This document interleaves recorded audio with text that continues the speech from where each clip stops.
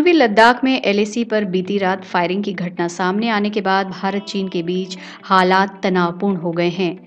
भारतीय विदेश मंत्री एस जयशंकर ने भी इस बात को माना है कि हालात बेहद खराब हैं। 10 सितंबर को चीन के विदेश मंत्री वांग यी के साथ मॉस्को में संभावित वार्ता से ठीक पहले जयशंकर ने कल ही कहा था कि चीन के साथ सीमा पर बनी स्थिति को पड़ोसी देश के साथ समग्र रिश्तों की स्थिति से अलग करके नहीं देखा जा सकता।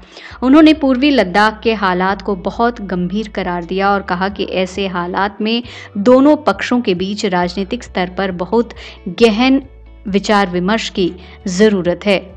दरअसल सोमवार देर रात पेंगोंगसो झील पर वास्तविक नियंत्रण रेखा यानी एलएसी के पास भारत और चीन के सैनिकों में गोलीबारी की घटना सामने आई है। उसके बाद से दोनों देशों के बीच आरोप प्रत्यारोप का दौर शुरू हो गया है।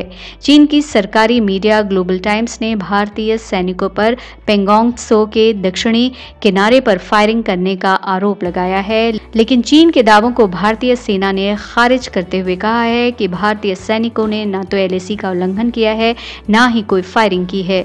भारतीय सेना के मुताबिक पीपुल्स लिबरेशन आर्मी यानी पीएलए के जवान 7 सितंबर की रात सबसे पहले एक भारतीय फॉरवर्ड पोस्ट के करीब पहुँचे थे, जिसे भारतीय सैनिकों ने रोक दिया था।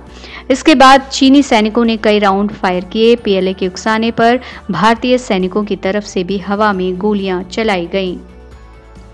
हालाँकि चीनी रक्षा मंत्रालय ने भी कुछ इसी तरह का बयान जारी किया है। चीनी पीपुल्स लिबरेशन आर्मी के वेस्टर्न थिएटर कमान के प्रवक्ता कर्नल झांग शुईली की ओर से एलएसी पर ताज़ा हालात को लेकर जारी बयान में कहा गया है कि भारतीय सैनिकों की ओर से कथित उकसावे की कार्रवाई की गई। उसके बाद चीनी सैनिकों ने भी जवाबी कार्रवाई की।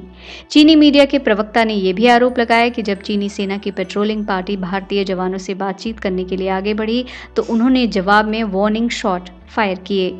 अब फायरिंग पहले चीन की तरफ़ से हुई या भारत की तरफ़ से, लेकिन खास और गंभीर बात यह है कि 1975 के बाद एलएसी पर भारत और चीनी सैनिकों के बीच फायरिंग की इस तरह की घटना पहली बार हुई है, और शायद इसका अंदाज़ा भारतीय विदेश मंत्री एस जयशंकर को रहा होगा। तभी उन्होंने इस घटना से कुछ घंटे पहले ही कहा था, एलएसी पर हालात बहुत गंभीर हैं। सत्ता विमर्श ब्यूरो की रिपोर्ट।